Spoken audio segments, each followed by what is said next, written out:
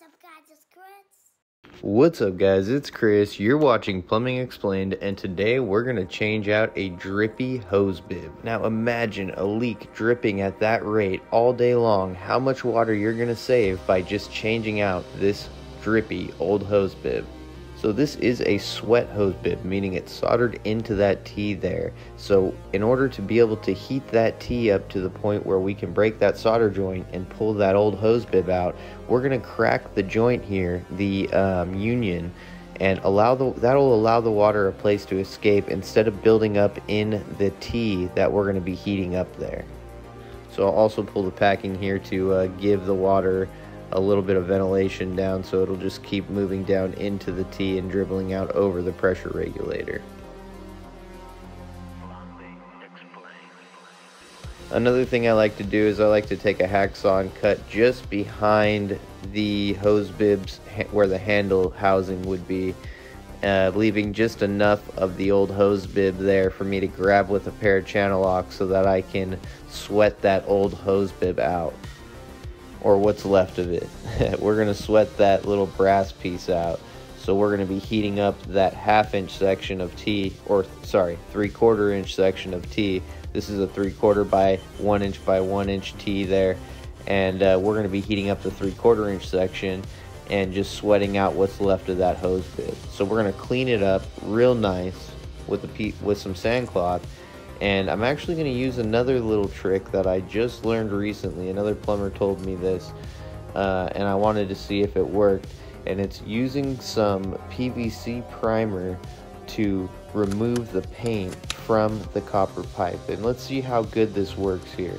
I'm putting on my rubber gloves because you don't want that PVC primer getting on your hands. I mean, especially if you've got cuts, man, it's like torture. I mean, I honestly don't know which one's worse, PVC primer or flux getting in your cuts, but they are both absolutely terrible.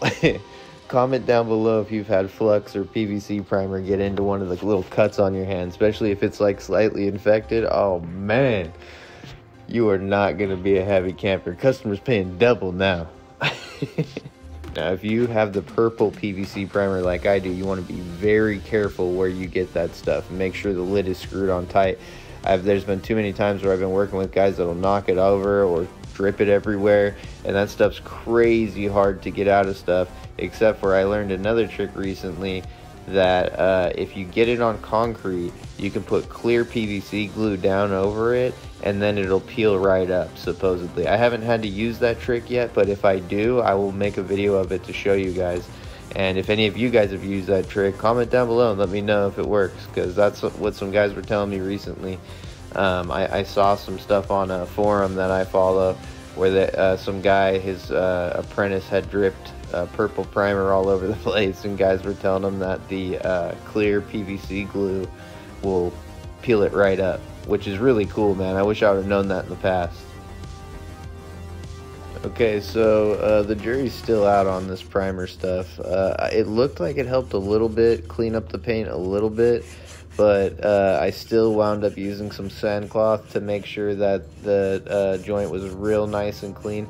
I like to make sure before I solder anything or heat anything up that it's really nice and clean. Number one, I don't want to be inhaling the fumes from that heated up and melting paint, and I don't want to be uh, not properly heating the joint. And sometimes, if the, the outside of the pipe isn't properly cleaned, the joint won't heat evenly. So it's really important. I mean, to get it out, I, I could get I could have uh, heated it up to get it out without having to clean it up.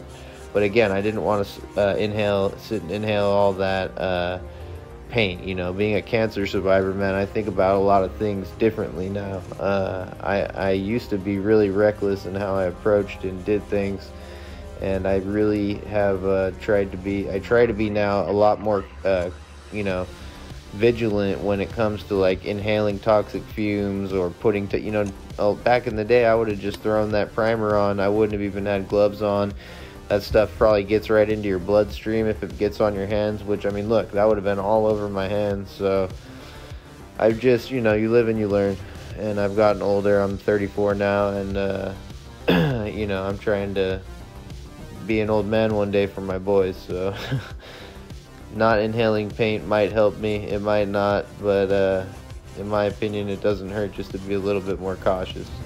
So I'm using open mesh sandcloth. I've used both types of sandcloth and I'll tell you right now the open mesh is definitely better. It will last longer. You can use it when it's wet and uh, yeah, it'll last a really long time. You get a lot of lot of sanding out of one little piece of open mesh sandcloth.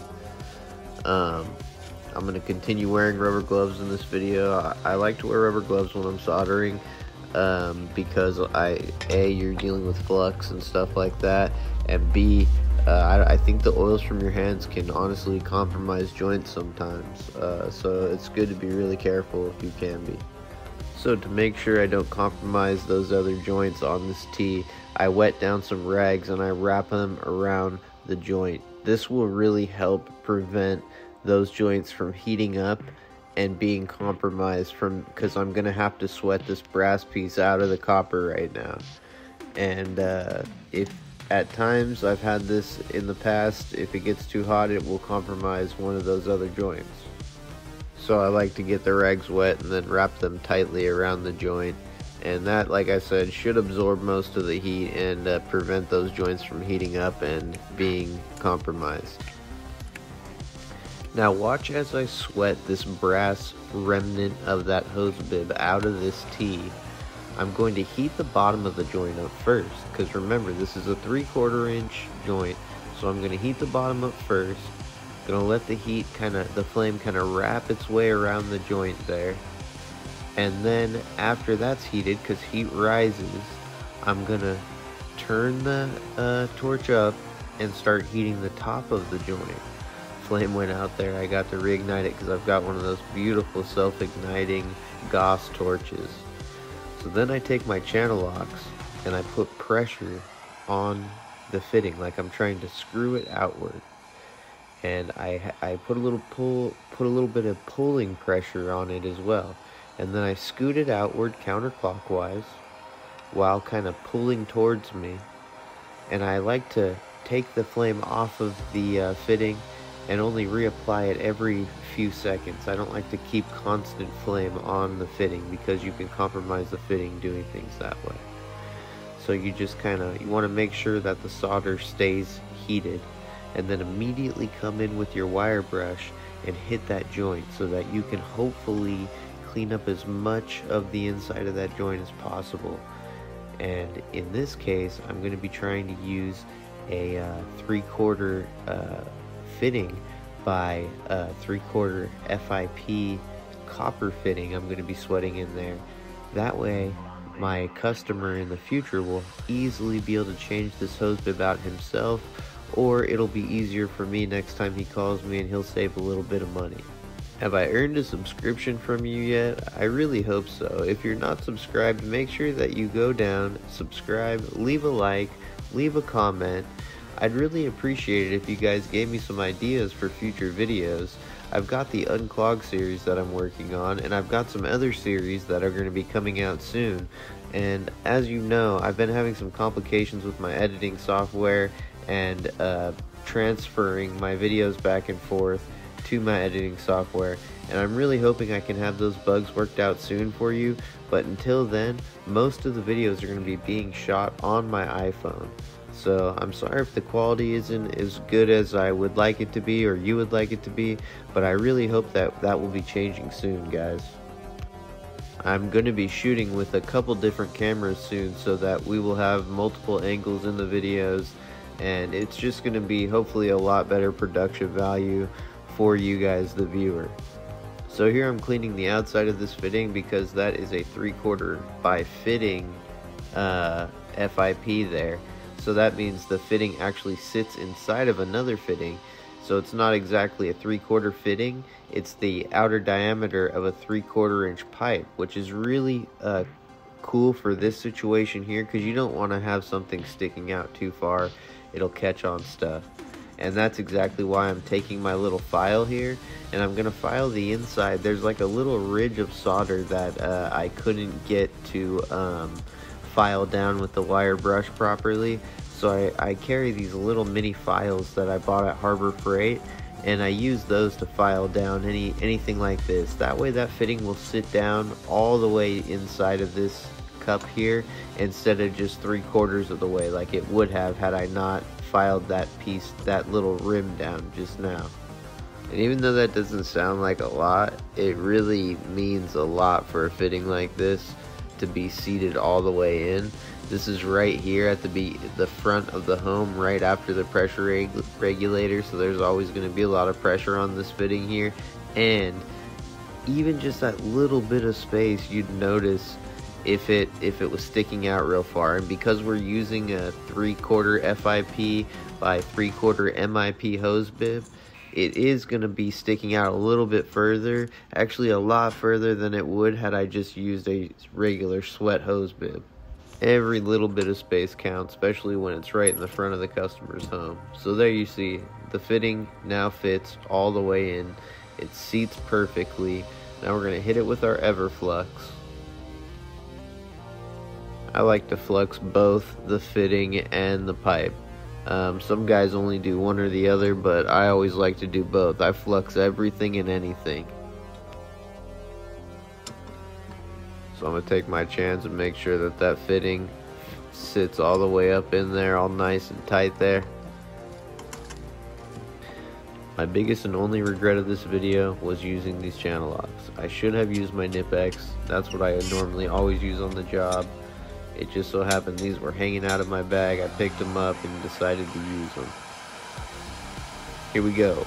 I like to use sterling solder. What do you guys use? I like to start heating the joint from the bottom. And then once I've heated the joint from the bottom for a minute, I'll move my flame up top. And both ways, I always make sure that the flame is wrapping around the fitting. That way the entire fitting, the entire cup is getting heated. And there we go. That's a perfect joint. Next, I'll take my jersey gloves and I'll wipe the joint down with the jersey gloves just to clean up any excess solder and then I'll take my flux brush after the joint is cooled for a few seconds and clean the rest up. And then after that I'll likely sand the area and wipe it all down again to make sure there's no leftover flux that's gonna eat through the pipe uh, later on after I leave. So where do you guys stand on Slic-Tite versus Teflon? Like in this situation here, I'm going to use Slic-Tite instead of Teflon tape. The Slic-Tite is basically a uh, paste version of Teflon tape and it's going to seal the threads just like Teflon tape would have except after I thread this in here and it's nice and tight I'll be able to clean the slick tight up and you'll never even see it so um, it's going to look just like brass on copper but it'll still be watertight isn't that beautiful man, I love this Milwaukee pipe wrench. It's like an extra long, small uh, aluminum pipe wrench, and it's just awesome. It comes in clutch all the time. As a service guy, service and repair guy, you need one of these on your truck, for sure. It allows you to get the leverage you need in some jobs that you just wouldn't be able to get otherwise. And it's just such a clutch tool, man. It's it's one of my favorite tools I bought in the last few years.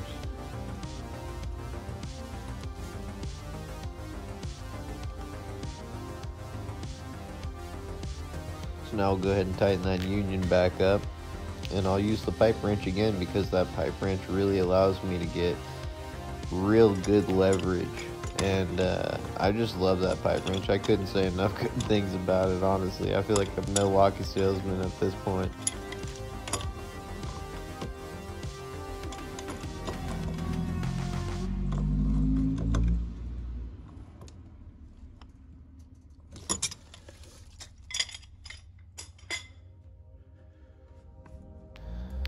So I like to use the edge of the rag to kind of clean out the Slic-Tite out of the uh,